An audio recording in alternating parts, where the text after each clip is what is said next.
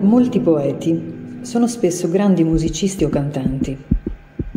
La musica e la poesia sono unite dalla stessa matrice che è la metafora. Metafora è fonte di conoscenza.